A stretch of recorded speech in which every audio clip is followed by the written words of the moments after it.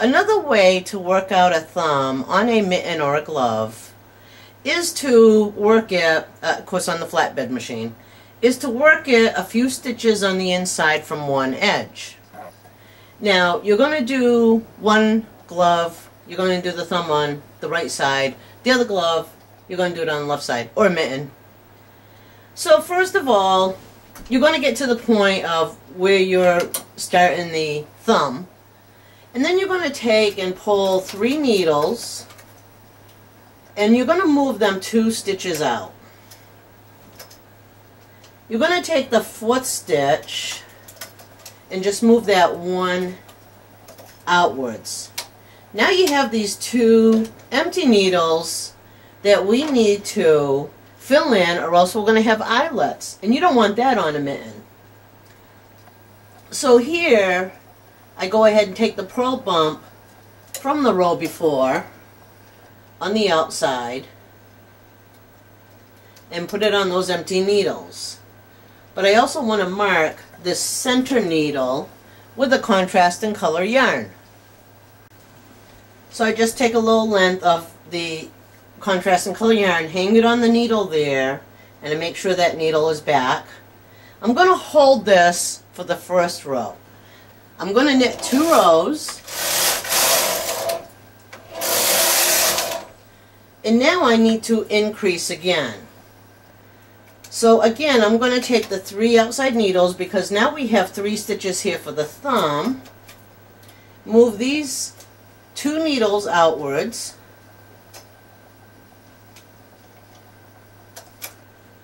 And then I'm going to take these three thumb stitches and move them one needle outward. Again, I have two empty needles that I need to fill in. And now I could go to the inside on the thumb stitch actually to pick up on that. You can go to the outside one if you want. It's really up to you. Knit two rows. Again, taking the three outside needle stitches and moving them two out. Now I've got five stitches on the thumb that I need to move those one needle outward. So there's three, four, five. And with the two empty needles, I now have seven stitches for the thumb. That's going to be good enough for the bulky uh, if you're doing this on the standard machine, you may have to go up to 10. Actually, you need an odd number there, so it would be 11, 13, you know, depending on your gauge. Now, I'm going to put my carriage to hold.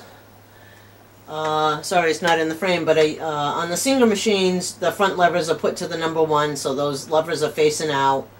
On the Brother machines, you're going to push in both the part buttons. Actually, I need to knit two rows first.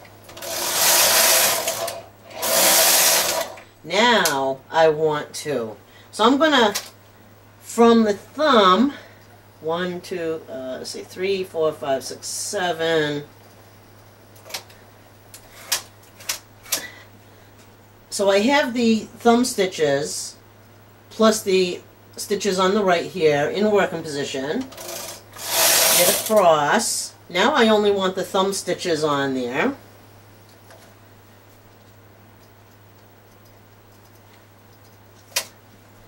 One, two, three, four, five, six, seven. It leaves me four stitches on the outside. Now I'm just going to knit about 10 rows for the thumb. Now, of course, this is on the bulky.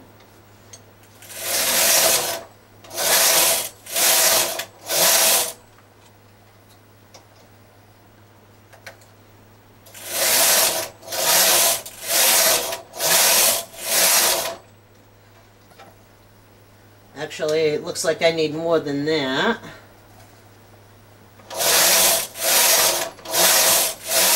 Okay, so I did 14 rows. This will probably, that'll probably be good for a uh, child. Now I want a short row down to make the top of the thumb so it has that curve. So I take the needle nearest the carriage that's in working position, put it to hold, knit across. Again, I'm just on the opposite side.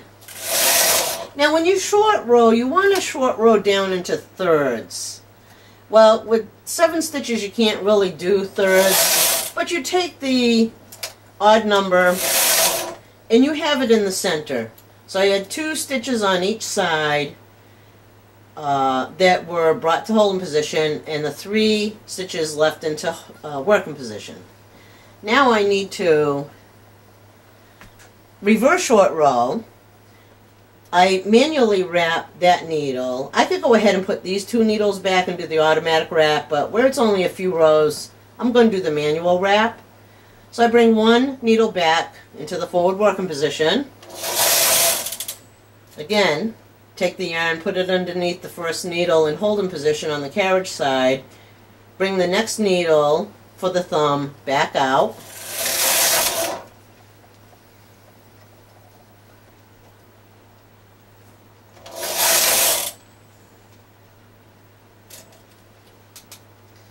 And I don't want to do that because that's not part of the thumb.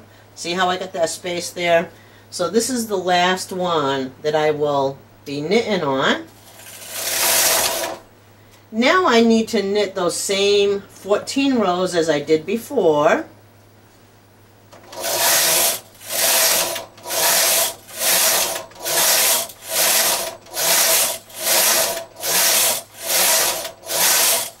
was it 12? I think it was 12 because, no, it was 14. Because now it is coming out like that.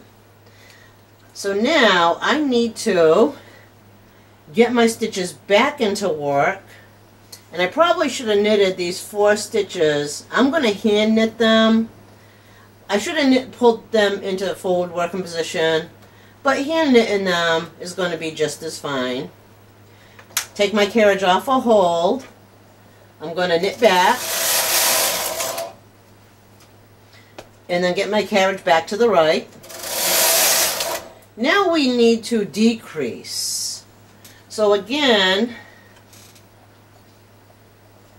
well, we could see where 11, right 11 I have uh, is the thumb one. So I'm going to take 12, 13, and 14 on the right side, move them one over,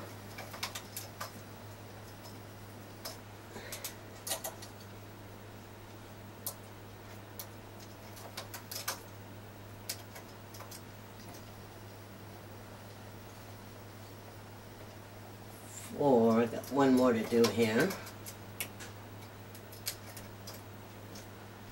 So now we have this one empty needle we have to decrease also. We did a decrease over here, so now this is going to be decrease. So now I take these four needles and then move two stitches back inwards.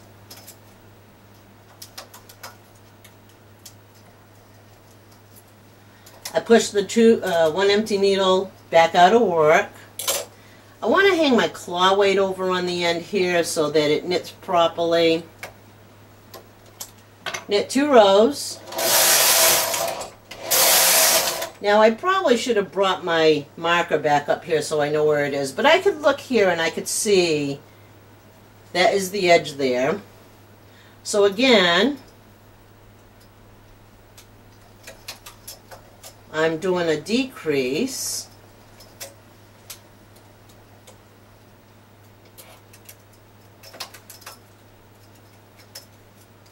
On the left side of the thumb.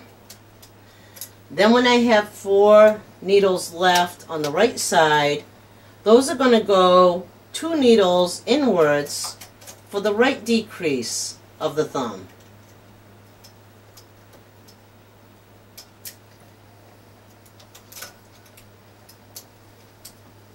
Empty needles out of work, knit two rows. And I continue doing this until I'm back to the same stitches. Now this is probably going to be the last row here. So yeah, here's the three stitches for the thumb. I'm bringing one over. And then the last four stitches, I'm bringing two stitches over.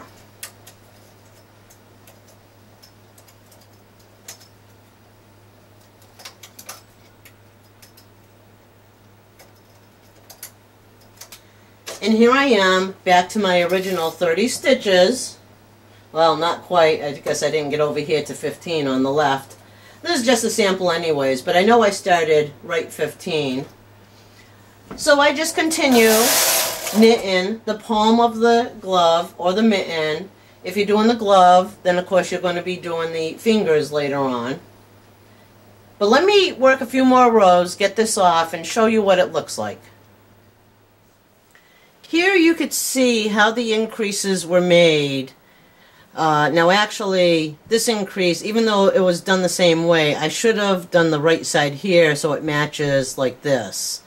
And that would have been to take the right needle, which would have been number four, or number three, I'm sorry, the third stitch from the right, over to number four, and then bring those back over. And then here, when the decrease is done, now this is going to be hidden by the thumb anyways. But you can see how it goes down to a point and you have a nice little gusset. When you get the work off the machine, now up here would be the cuff and this would be my left hand here, but it's upside down. I just want to show you. What I would, what I did with the sewing the thumb up, and here I do have a finished one, was I put the thumb inside out and I started on the short side here and then I sewed up this seam. And then I just like zigzagged the yarn on the top here. And then I went back and sewed down this side. And once I got that closed then I did the duplicate stitch to lock that end in place. After I sew the side seam I would take this other yarn and lock it into place. So when you have it off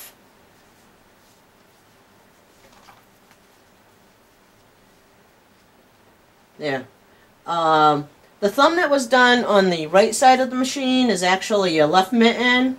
When you work the thumb on the left side, that would be your right mitten. Here's one that's done.